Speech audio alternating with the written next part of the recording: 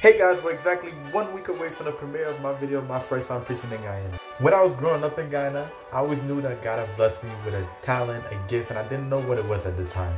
And I told myself later in life, when I figure out what my talent, my gift is that God has blessed me with, I'll be able to come back to Guyana, Fort Street Church, to be able to use that gift for them. And in June of this year, I finally got my opportunity to fulfill that promise that I made to myself at that very young age. I believe it was the age of five. I finally got the opportunity to fulfill that promise that I made to myself and that video will be dropping on my 18th birthday, July 23rd. The premiere of the video will be starting on July 18th, which is the Sunday. I'm very excited for this video and I hope you guys are too.